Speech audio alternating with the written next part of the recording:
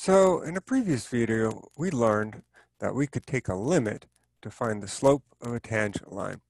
So let's work out some examples. To review, the slope of the tangent line at the point A, comma f of A, is given by the limit as x approaches A, f of x minus f of A, all over x minus A.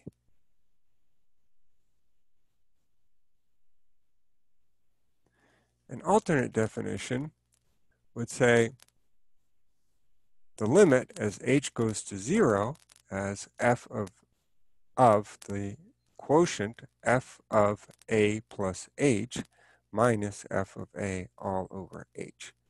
All we did here is replaced x minus a with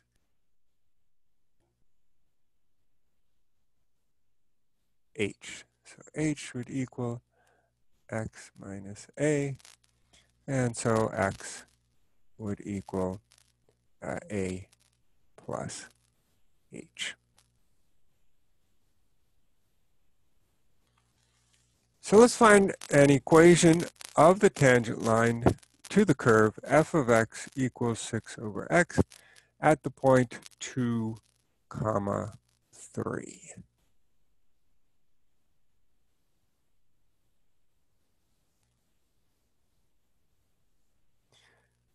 So we're going to have to take the limit as x approaches 2 of f of x minus f of 2 all over x minus 2. So I'm going to have to focus and always remember to put limit as x approaches 2 as I work out all the algebraic steps. So this would be 6 over x minus 3 in the numerator, in the denominator, x minus 2. So I would like to simplify that algebraic fraction. And so what I'm going to do is I am going to multiply numerator and denominator by x.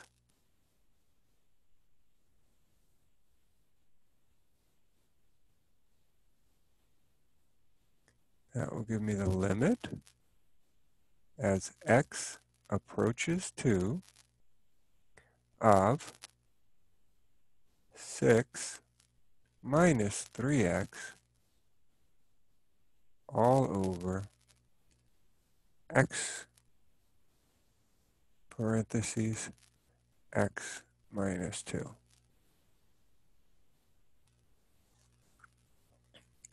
I left the denominator in factored form, looking ahead, thinking that, oh, I am going to have uh, probably a, a common factor. So let me leave it in factored form.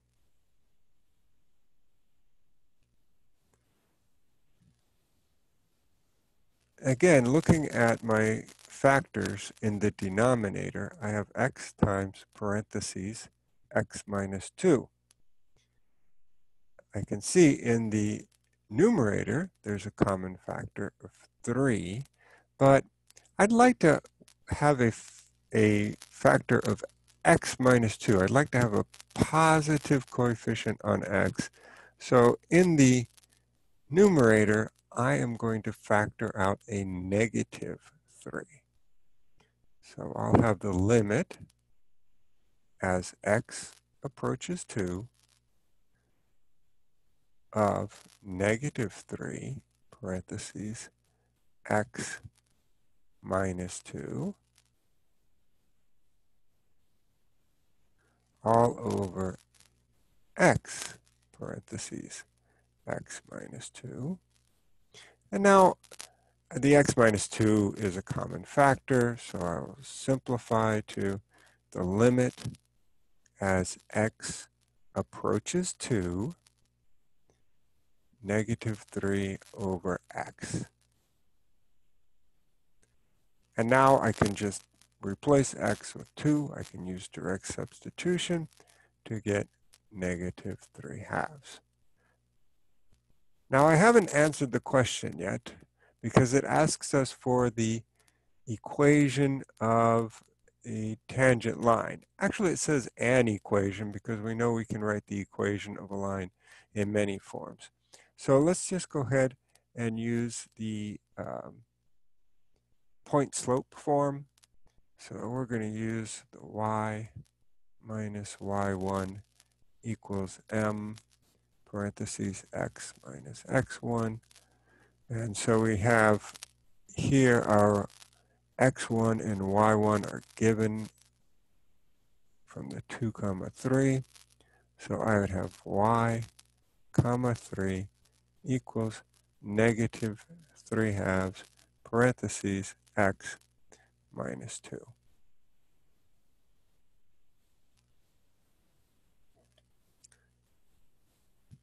So let's look at another example. Find an equation of the tangent line to g of x equals radical x plus 1 at 3 comma 2.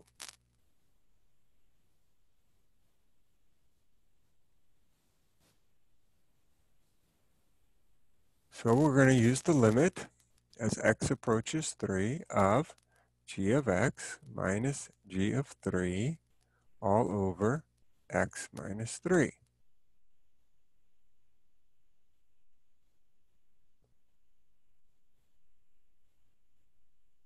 So g of x is radical x plus 1.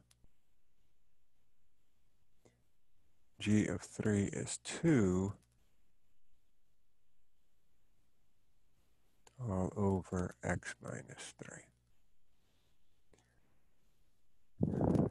So here I see that I have a, a radical expression in the numerator with two terms and that makes me think, well, how can I clear out the radical when I have two terms?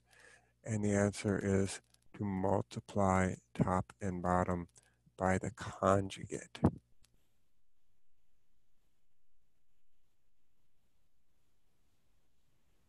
Conjugate will be radical x plus 1 plus 2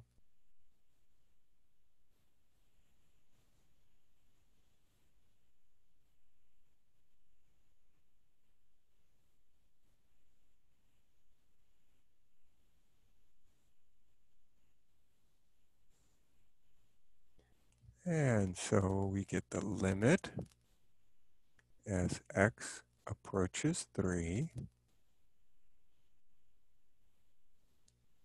x plus 1 minus 4 in the numerator. And the denominator,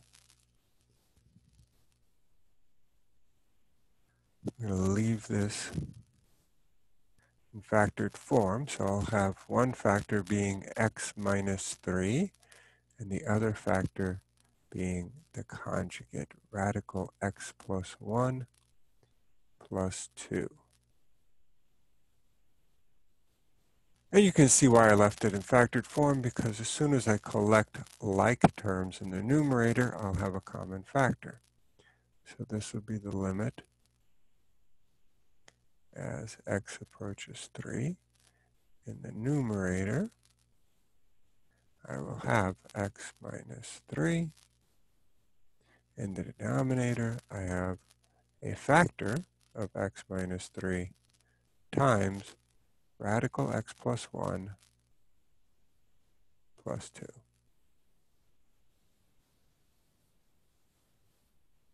So now, after simplifying, I can divide out the common factor. I have the limit as x approaches 3 of 1 over radical x plus 1 plus 2.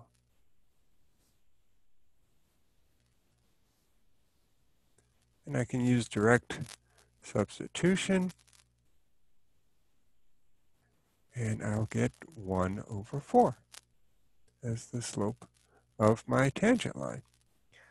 So I'm not done because it doesn't ask for just the slope, it asks for an equation. So again, we'll use the point slope form.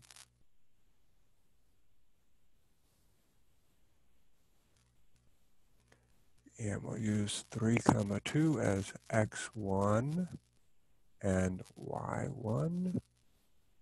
So my equation will be y minus 3 equals 1 fourth parentheses x minus 3. And oops, made a mistake. Let's correct that. y1 is 2. So y minus 2 equals 1 fourth parentheses x minus 3. One last example.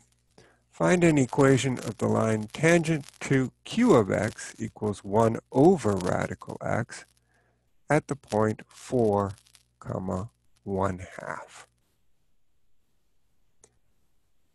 So I'll need to take the limit as x approaches 4 of q of x minus q of 4 all over x minus 4. So that would be the limit as x approaches 4 of 1 over radical x minus 1 half all over x minus 4.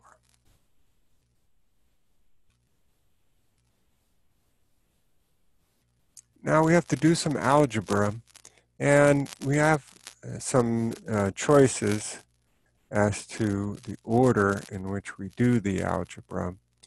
Uh, one thing that I might want to do now is multiply by the conjugate on the top and the bottom. Another thing that I might want to do now is clear the fractions. And then I'll have to multiply by the conjugate. If I multiply by the conjugate first, I will have to later clear the fractions. If I clear the fraction first, I will later have to multiply by the conjugate. So as long as you do the algebra correct, the order of performing those two steps should lead to the same result. So I am going to clear the fractions first.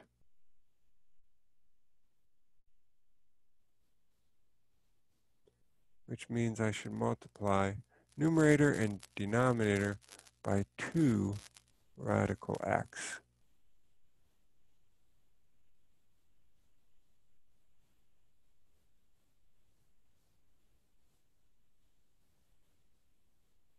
That will give me the limit as x approaches 4 of,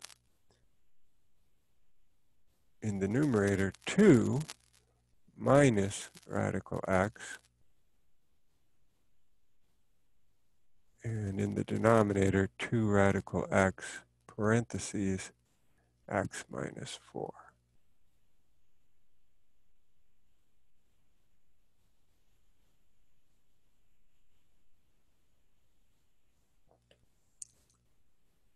So now I still have to go through and multiply by um, the conjugate. So use a different color. 2 plus radical x over 2 plus radical x.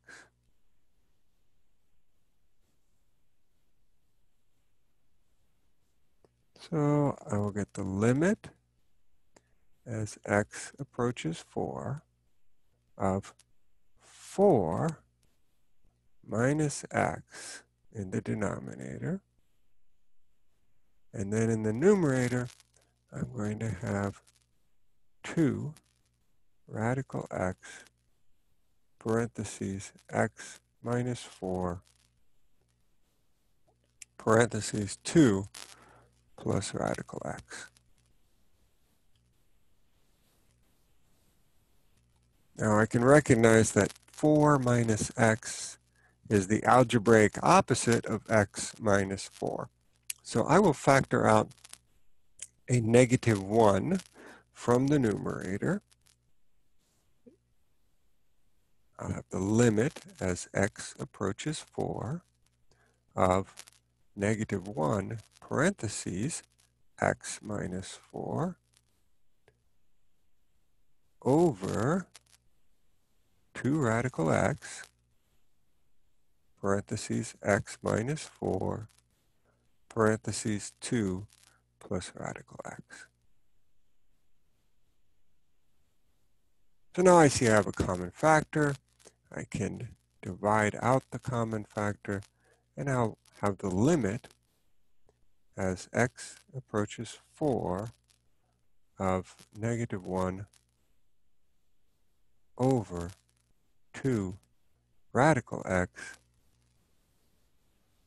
parentheses 2 plus radical x. And I can use direct substitution to evaluate that limit. So I will get negative 1, 2 over 2 times 2 times 4. So 4 times 4 will give me 16. So negative 1 over 16.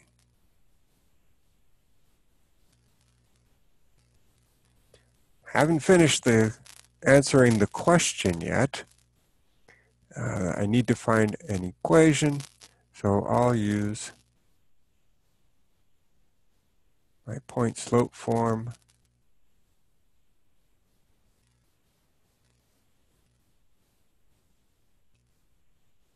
And so I'll have y minus 1 half equals negative 1 16th parentheses x minus 4.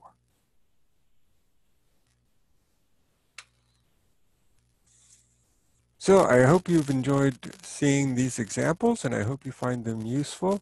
They will certainly appear on a quiz or on a test near you.